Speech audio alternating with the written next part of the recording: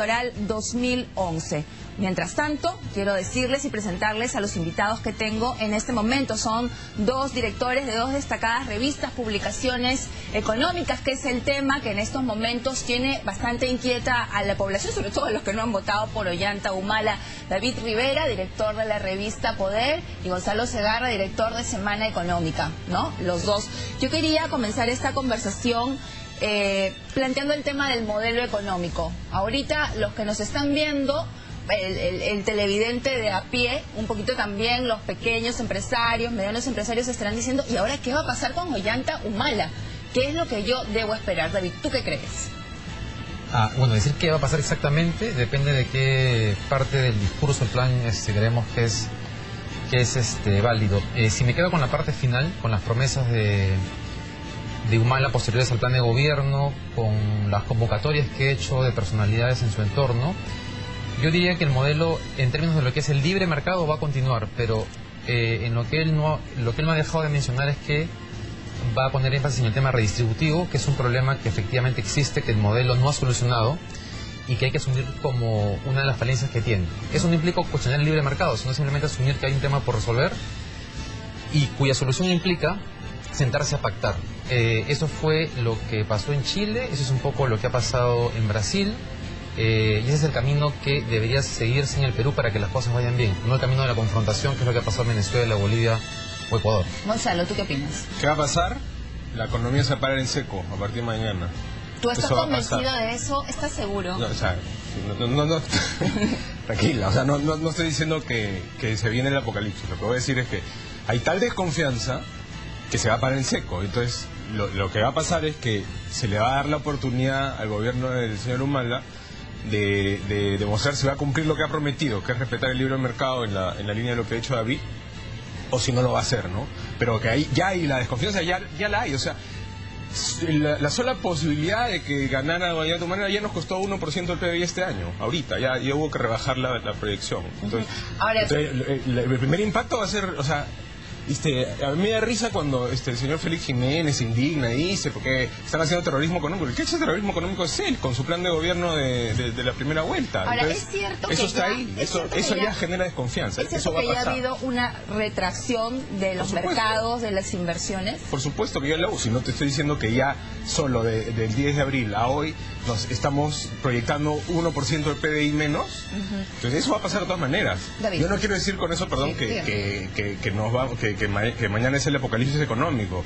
Pero, pero de, que, de que ya hay un pacto, ya lo hay. Lo que pasa es que, hay que habrá que esperar, si, si el señor Humala cumple sus promesas, entonces se tomará a, Lula le tomó casi un año generar confianza. A Humala, que tiene mucho menos capital político, le va a tomar probablemente más. Ojalá que no, pero eso es lo que probablemente va a pasar.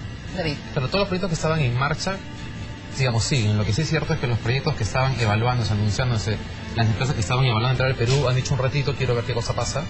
Y sí coincido con Gonzalo en que le va a tomar un tiempo al gobierno de Gana Perú eh, ganarse esa confianza, porque, eh, porque digamos, lo que decía el plan de gobierno sí ha temorizado al capital privado.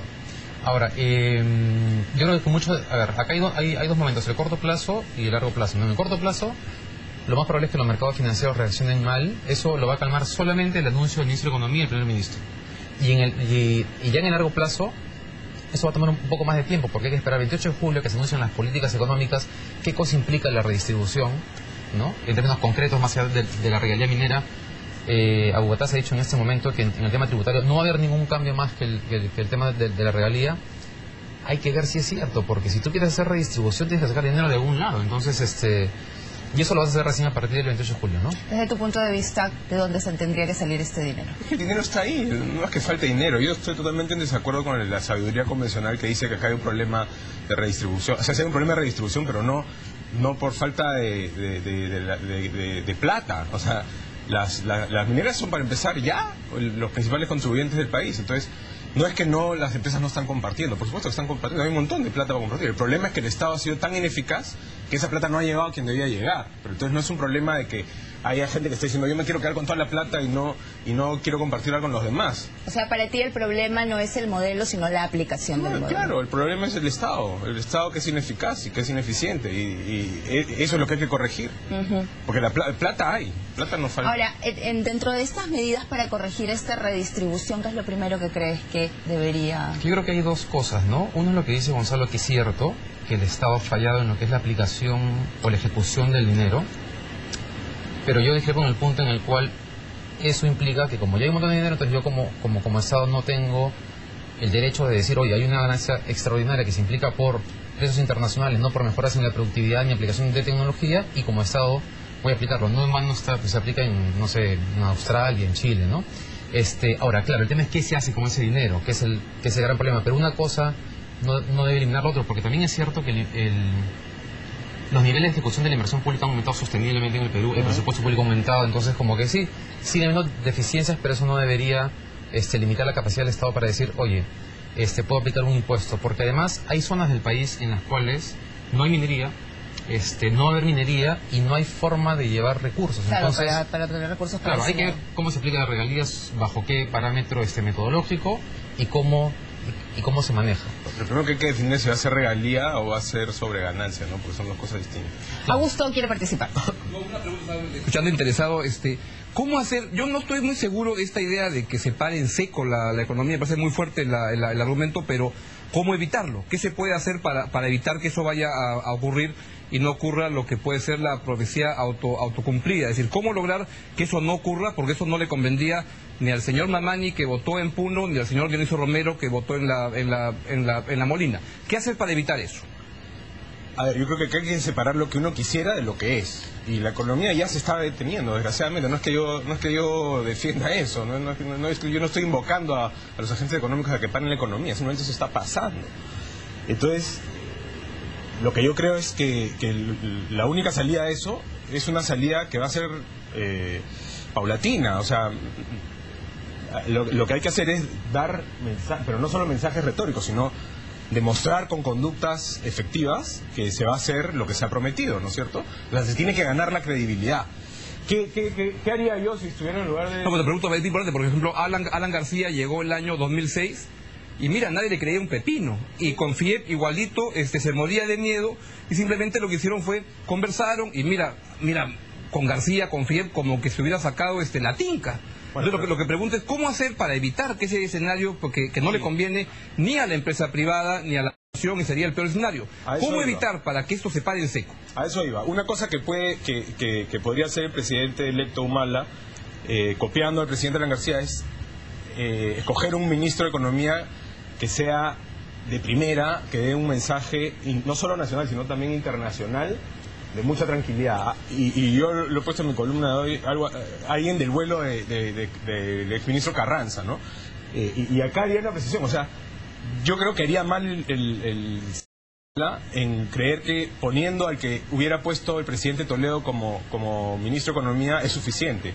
Los mercados van a esperar del presidente electo Humala mucho más de lo que esperarían de Toledo, porque Toledo finalmente ya tiene un gobierno donde mostró ortodoxia económica. Entonces, a él le pueden, le pueden este, eh, creer eh, que, va a ser ortodoxo con un ministro que de repente no tiene tanto vuelo. Pero, pero el presidente electo Humala va a tener que poner un ministro de, o sea, tan, de, tan, de tanto peso y, prestigio y credibilidad eh, internacional como, como Luis Carranza, alguien de ese vuelo. Otra cosa que yo creo que, tiene que hacer, y se lo recomiendo desde ahora, es que se quede Julio Velarde en el BCR y para eso le tienen que dar a él la garantía de que va a tener un directorio que, que, que, garantice, este, valga la redundancia, este, su, su, absoluta independencia y ortodoxia. ¿no? no basta con poner a Julio Velarde y a siete señores más que sean títeres del gobierno. gobierno, sí. Bueno, con ese tema Julio Velarde hay un consenso. David, ¿tú crees, como él, que el primer ministro tiene que tener este perfil? Sí, pero quiero,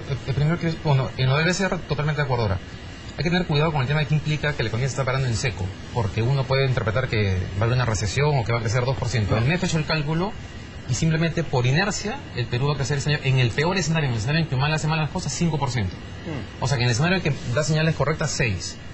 Digamos, tiene un periodo como de unos, unos cuantos meses para garantizar que el próximo año vamos a crecer 5 o 6. No son el 8, pero tampoco, pero tampoco es el apocalipsis. Entonces hay que tratar de, de manejar la cosa con cuidado. Ahora, este, los mercados me preocupan, pero también me preocupa la viabilidad social del país. Si tengo que nombrar un ministro de Economía que me, que me tranquiliza los mercados, pero que, me que, pero, que no me, no, que no me garantiza cambios en el modelo que impliquen viabilidad social, ese ministro no me sirve de nada. Entonces, yo, tengo que buscar un ministro que me tranquilice los mercados en el corto plazo, pero que hay un proceso de negociación, porque Humala tiene que garantizar eso y tiene que garantizar que aquello que ha prometido se va a cumplir porque si no la expectativa social es tan grande que en un año el país está colapsado y de qué nos sirve que la vuelta se haya frenado este, en el corto plazo. Bien, vamos a hacer una pausa breve, vamos a seguir aquí con estos dos editores de estas revistas prestigiosas que nos van a seguir dando sus puntos de vista sobre el tema económico. Ya regresamos.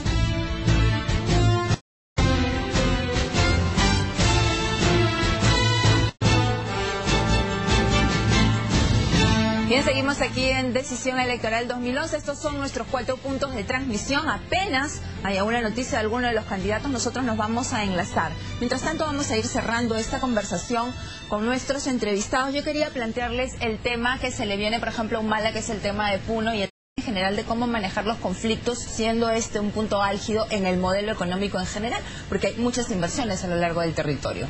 David. Creo que hay dos cosas, ¿no? Eh, una primera es que hay un tema de liderazgo, porque es muy difícil cambiar la situación en el corto plazo. Y ese va a ser el principal reto de, de, Humala, y, de, su equipo. Eh, ahora, hay una serie de discusiones que tienen que abrirse en el país porque han estado demasiado ideologizadas, ¿no? El tema de la minería, el tema de si se divide el territorio para ver en qué espacios es posible la minería, en qué espacios no es posible la minería, el tema de... El gobierno de García este, ha, aprobado hace tres semanas algo que debió aprobar al, inicio, que es el tema de, que el, voto de las comunidades sirva desde el inicio de los proyectos, este, ¿no? Entonces, no sé por qué lo he hecho al final, pero digamos, hay que comenzar a discutir qué tipo de pactos sociales se requieren para que no haya ese tipo de protestas como, como, como, como la de Puno. Yo creo que él va a enfrentar de todas maneras este, conflictos sociales porque la expectativa es mucha con él. Este, y si no da respuestas rápidas va a tener problemas. Entonces ahí lo que ahí en el corto plazo el liderazgo y de ahí abrir la discusión a un montón de cosas como regalía minera, este, la minería, dónde se aplica, cuál, cuál va a ser la política ambiental en el gobierno, etcétera. Bueno, y no maneja desde, desde, Lima también. No, ahí la PCM, este, esta dirección que creó de manejo de conflictos sociales ha sido una falla absoluta este, no han logrado frenar casi ningún conflicto y todos le, han explotado en el cara, ¿no? Y, los voceros, los, los, gobernantes regionales, los presidentes regionales no, no toman un papel efectivo, se terminan de voceros. un tema final porque yo creo que el tema de la filosofía del perro del hortelano, donde el presidente agarra y te dice que con soberbia que hay unos que saben lo que pasa en el país y el resto son casi casi ignorantes, estoy exagerando un poco la figura, pero ese es el mensaje. Si ese tipo de, eh, eh, de, gobierno sigue, eso no es viable. Vamos a salir rapidito, que nos vamos ya. no, yo también creo que hay un montón de expectativas sobre, sobre el nuevo gobierno en materia de conflictos sociales. Creo que lo va a tener muy difícil. Este, porque de alguna manera se genera lo que en economía se llama en riesgo moral, ¿no es cierto? Entonces es como los incentivos perversos, que tú le dices, este, es como un niño, o sea, te haces pataleta, te doy lo que quieres. Este, entonces, eso es difícil de manejar a la hora que, que, tú dices, bueno, yo voy a manejar la pataleta del chico, bueno, es difícil de manejar. No, digo que no haya este, conflictos que tengan su razón de ser, pero sobre todo son conflictos muy micro, ¿no? Entonces, tener a, todo el gobierno, o al gobierno central, este, hipotecado para solucionar esos ¿Te parece micro lo que pasa en Puno? Bueno, algunos. Bueno, digamos, termina siendo muy grande el, tamaño del, problema, pero a veces las cosas que piden son este, este, una sequía, no sé, un... Este, ¿Me entiendes? Son, son, problemas chiquitos de demandas pequeñas. Muy bien. Lamentablemente el tiempo se nos ha acabado. Yo les agradezco a los dos por haber venido a darnos sus puntos de vista. Muchísimas gracias. A Gonzalo Segarra, editor de la revista Semana Económica, David Rivera, director de Poder. Muchísimas